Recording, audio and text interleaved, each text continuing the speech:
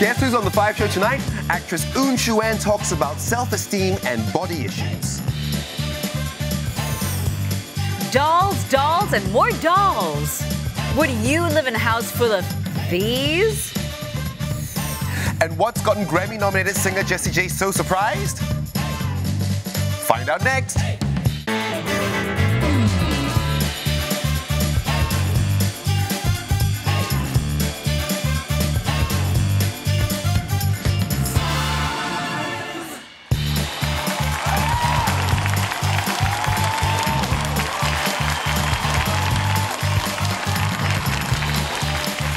Hi, I'm Lai. And I'm Yasmin with you, and hope you guys had an awesome weekend.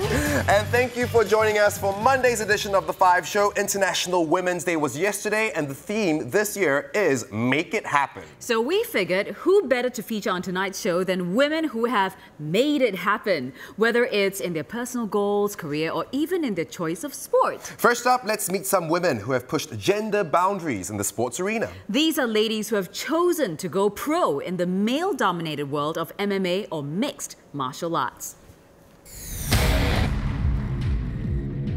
Mixed martial arts, or MMA, is a full contact combat sport, known also as cage fighting or ultimate fighting. It's been described as the fastest growing sport in the world. I've been practicing MMA for a number of years, and I really enjoy the intensity and how it keeps me in shape. But have you ever wondered how professional fighters are like? Kirsty Ganaway left her graphic design job to focus full-time on training and MMA as a career. Kirsty is only the fourth Singaporean female fighter to compete professionally in MMA. She recently won a fight at the ONE FC Battle of the Lions event. Since I started training martial arts nine years ago, I liked the healthy lifestyle that came with it because it made me feel so much better. Sometimes I found like, although it's graphic designing, it was still a desk job and I found it really mentally and physically exhausting, but um, not in a very positive way. And get the opportunity here to get to train every single day and incorporate uh, healthy living into my lifestyle. I thought that was a really cool opportunity. I'd train two times a day at two hours each, minimum. If I can get uh, six hours in, that would be even better. Martial arts is made up of a lot of components, so it can be a bit intimidating. Uh, but just go for it. Don't be so concerned about the way you look. Trailblazing Kirsty is an inspiration to both women and men. Whether they choose to fight professionally or practice MMA just as a form of fitness training.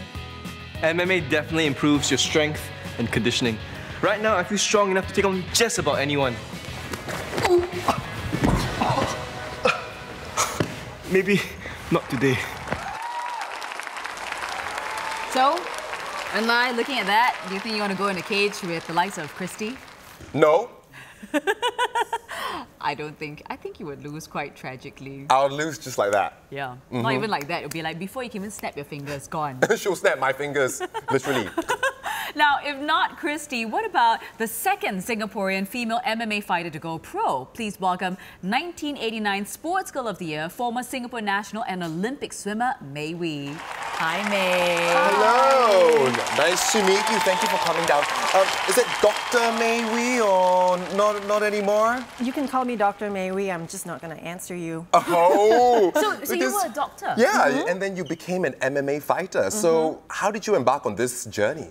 Well, there's a there's a long story behind it. Um, I finished medicine and I was at Crossroads. I wanted to, I wasn't sure if I really wanted to go, you know, spend the rest of my life in a hospital. Um, my passion was in sports, so I really wanted to pursue a life of sports, follow my passion. Um, after swimming, I went into surfing. I started surfing, very passionate about that, still do. Uh, and then I got into capoeira, I opened a gym. Uh, I have the Brazilian Cultural and Sports Center in Singapore where I teach capoeira for kids and adults. And then from then on, I just went to um, Brazilian Jiu Jitsu, Muay Thai, boxing, and then when you throw all that together, it's mixed martial arts, MMA. Well, there you go. It's, it's a bit of a rojak of sports, right? Yes, it is, absolutely. Yeah, Do you, salad. Do you, do you feel like there is uh, discrimination against women in sports, especially combat, uh, combat sports? Um, I think I've been very lucky. I haven't felt any direct forms of discrimination. Um, as a matter of fact, the men that have been around me, especially the fighters, um, they've been the most supporting people. Very, very supportive in every way, whether it's training, sparring, you know. um, your fights, acknowledging and giving you everything they have to help you get to where you want to be. It's been great. Um, but we've had, I felt like the discrimination actually came from, it's kind of sad to say, but from women. You know, Oh. yeah, it's just it's just hard. Like they try to take it away from you sometimes. What, what do you mean? you know, um, when you win, the men would be over the fence. They'd be like, yeah. Yeah. you did it. You know, you got her and you smashed her. It doesn't matter how it went down, it went down and you got it. But what do the women um, say? The women would be like, oh, yeah, that was good. And yeah, but she didn't have a ground game or she didn't know how to strike or she didn't know how to. And you just go, all right, thanks a lot. Is it you know? because they're being competitive? Are, are these women who say these, are, are they also in the same sports or, or are they? They uh, do from- some form of combat sport. Ah, yeah, okay, so maybe there is the it's competitive thing going on. Okay. Yeah, like I said, I've been very, very lucky. It's, well, with the men, it's just been great. You know, I've got really good support from men. Okay, well, yeah. Mm-hmm. we've got in the news today. Um, Salvo Sports, an Indonesian company, they make T-shirts, I think. Mm. Um, let's take a look at the photo and the little tag that they put on, and it says there, washing instructions: Give this jersey to your woman. It's her job. Oh, okay. What are your thoughts on this, May? First, I thought it was like a really funny joke. I mean, like seriously. I mean, first world, Singapore. You say that to a woman, you're probably gonna get like a "What's wrong with you?" face. You know, oh, d- yeah. Go ahead. Like. Or a slap or a Really? punch or whatever, a scratch. you're yeah. in the doghouse for the rest of the month.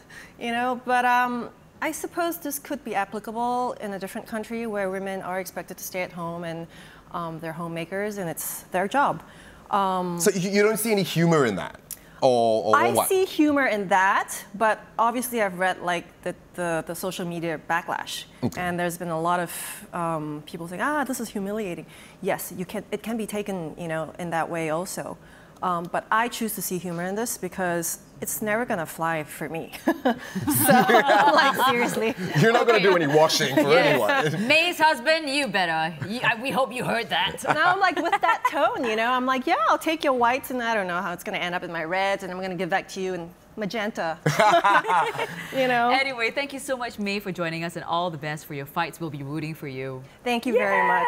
And watch out for May. Um, she'll be on um, CNA um, as the sports reporter for the coming SEA Games.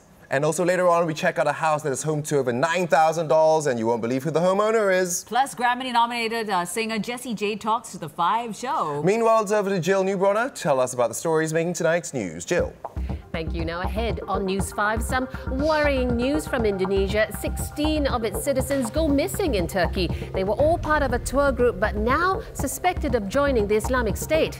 At home, a CPF retirement planning service to be launched to help you figure out your best savings options. Plus another train disruption this evening. A fire stops the Bukit Panjang LRT in its tracks and service will not be available all night. We'll have the very latest at 9 p.m.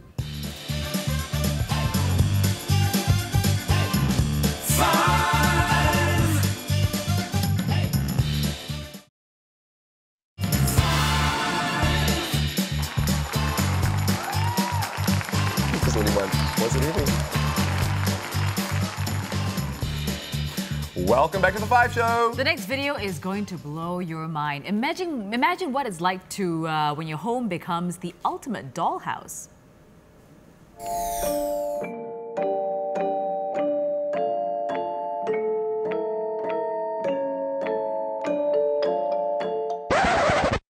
Hi, I'm Jen. Um, as you can see, I collect dolls. I've been collecting dolls since 1984 when I was about five years old. Right now, I think I have about 6,000 Barbie type dolls, but about 9,000 dolls as a whole. You can see I've got dolls pretty much everywhere. This is the cupboard in the, kitchen. Uh, I thought that was quite funny because she's a Spice Girl, get it? First doll that I owned was Great Shape Barbie 1984, and she's the one that was featured in Toy Story. You know, when you're five years old and you don't know what's a boy's toy, what's a girl's toy, what gender stereotypes are, you just sort of lean towards something that you like. In this case, I lean towards a, a doll. Uh, I didn't know it was not for boys, I didn't know it was stereotypically wrong for a boy to play dolls. I got, I got my first one, and I guess the rest is history. She's just not the perfect plastic form, but everything from careers to ambitions to living the dream life. I think that there, there's qualities that she can portray. So this is a doll I painted of myself. Uh, what can I say? I think he's handsome. So the only thing I have to say is the fact that at 35, I've got, you know, a house, a career, in a very good relationship. Family loves me, friends love me. I've had no problems, like no bullying, no friends questioning who I am, sexuality, none of that. Something, something worth thinking about when we stereotype what a person should look like. What does a He-Man collector look like? What does a My Little Pony collector look like? It's, I, I think it's not a fair judgment. Um, yeah. Wow. Thank you, Jen, for sharing your collection. And happy International Barbie Day. That's right. Barbie is officially 56 years old today and she still looks 18. She doesn't look it. No. I want to be Barbie. And as much as there are those who love her, there are also those who dislike her. You know, some people feel that um, Barbie doll objectifies women and gives young girls the wrong idea of the perfect body image. Well, with us is an actress who made a very honest video about the insecurities she has about how she looks. Please welcome Oon Shu-an. Hello, Shu-an. Hello. Thank you for coming. So let's talk about the video. Yeah. Uh, recently, it went viral. Yeah. And it's a great video, and you shared about your insecurities, about uh, how you look, Yeah. about plastic surgery. um, but what was the message that you were trying to uh, send out? Why the video? Okay, I explained the history a little bit. It was actually with a theatre company called Checkpoint Theatre, and it was part of a theatre show called Unicorn Moment. And what we wanted to do was create a community online first before the theatre show went on. And we realized during our brainstorming sessions that every time we talked about stuff, when one person shared a story, someone else would end up sharing theirs. And so actually it started a while ago. I bought a unicorn suit because I wanted to make like videos. Yes, we've seen you in Yes, your Lala. We all know that. your unicorn onesies. Because I wanted to do like advice videos, you know, things I wish I knew when I was younger, things about like sex education, dating violence, all that kind of stuff. But after going through the process of making that show, I realized that no one actually can tell you how to live your life. It, like no advice would be for everybody. So all we could try to do was kind of like navigate our lives in as honest a way as possible and share that process with people. And what was really great was when I shared that video, other people started sharing their stories about how Right. they felt about themselves Right. Mm-hmm. and about how they felt about beauty and how they were perceived. Yeah. yeah, and so it was really nice to talk about that because if you think about it, there's no like clear right or wrong, it should be this way, it should be that way. All you can do is kind of like process your feelings about it and think of it in terms of like a larger system and then just identify those things and hopefully things shift. And sometimes So- by sharing it, you, you actually feel better and you can actually figure things out better, right? Yeah, yeah, in a way, it kind of makes you feel better that you're not alone. Exactly. I actually didn't want to do the videos. I was like, this is. No, this what- is too much. I you love the videos. I I like really it did. because the Thank thing you. is, it's kind of ironic.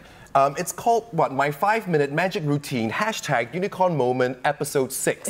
and Shu-an is there putting on makeup. Yeah. While talking about her insecurities. Yeah. And um, so that, that was really nice. And why do you think it's gotten 400,000 views only in this past, uh, past Few few, weeks, past few days? Yeah, I think it's because I guess it's something that resonates with people. I think this is for guys and girls. This constant message of you need to try harder, you need to be more, you're not quite there, you're not quite good enough. And all these messages that we take in and we because like what I realized was when I was 14, I was not a looker. Like I had no idea how to do my makeup, no idea how to do my hair, but I was so confident.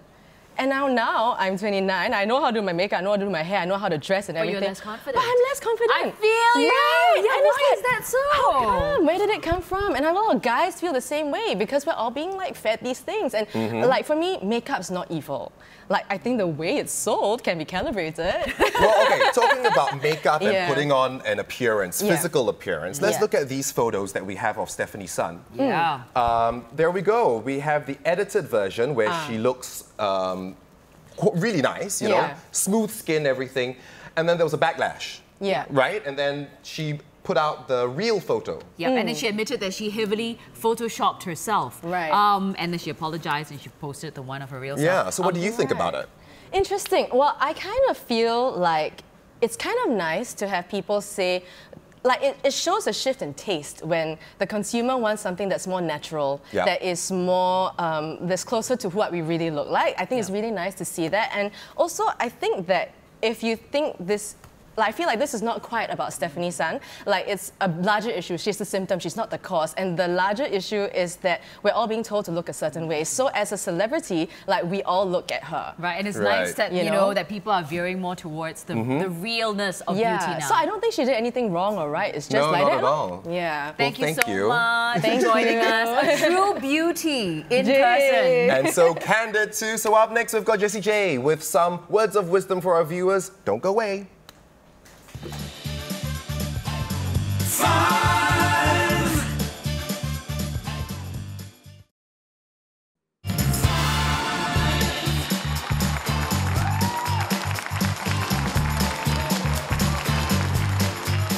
Welcome back. As part of their 35th anniversary, SK-II launched their Change Destiny Museum at the Paragon Atrium. Our five-show reporter Carla went to check things out. I love all things fashion and beauty, so when I heard SK-II was having an event, I just had to check it out. So I'm here at the Paragon for SK-II's launch of their Change Destiny Museum. Hosted by Belinda Lee, I got to meet MediaCorp personalities Desmond Tan and Aloysius Pang. I journeyed through the five zones where I got to experience a number of cool and funky SK-II innovations. Hi. Um, okay, am I gonna have a lot more wrinkles in five years?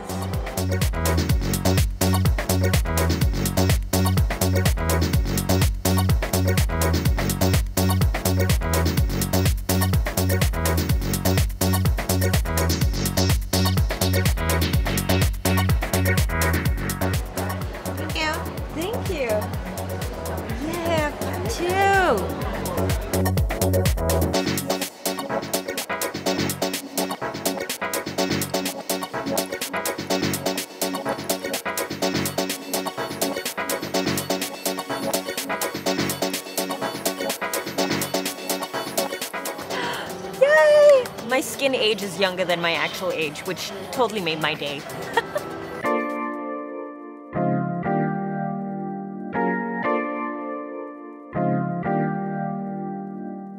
The highlight, though, was getting a selfie with SK-II Global Brand Ambassador, Korean sensation Kim Hee-ae. I had an awesome time at the SK-II Change Destiny Museum. Now you've got two more days to check it out, so don't miss it. Oh yeah, lots of skincare tips to pick up and products to try. And apparently not just for the ladies, for guys as well. Now, the whole breaking of stereotypes and gender equality, I think, you know, we should go both ways, right?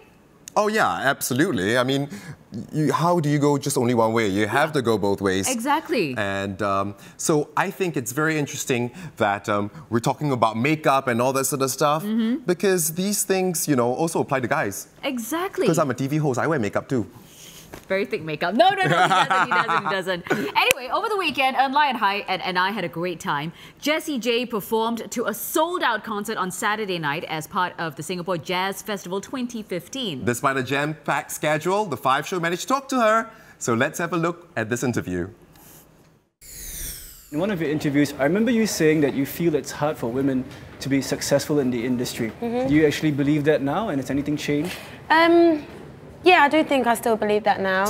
Um, I think as you get older as a woman, especially for me, going from being 16 when I first started out in this industry to now, and I'm nearly 10 years, 11 years on, I still have struggles, but I know how to deal with them better. Um, I know how to fight for my rights in a less emotional way. Um, but I love being a woman. And I, yeah, which is a good thing to say, you know, and, and I've really embraced it as I've got older, so. And is Masterpiece a Yes. reflection of you? Oh, it's it, every time I even just hit seeing those, you know, those young kids sing it. Every single one of them is singing it in a different way, taking it into themselves personally and, and singing it a different way. And that's for me is what that song's about. Every time I perform it, some people are crying, some people are celebrating, some people are dancing. Um, the lyrics are so never ending. Like a, a 10 year old could sing it and an 80 year old could sing it and still have the same feeling of what the song's about. So yeah, it was lovely. It was such a nice surprise. Who's your biggest inspiration? My mum. Um, she's taught me to be so many things and understand the layers of myself. She's probably one of the first, if not the first person that's been honest with me about maybe negative parts of me that other people would be scared to say, you need to work on this. Even from when I was younger. You know, it's so funny now when people say to me, like, you're so specific and you're so driven and, and you know, and you push people to their limits.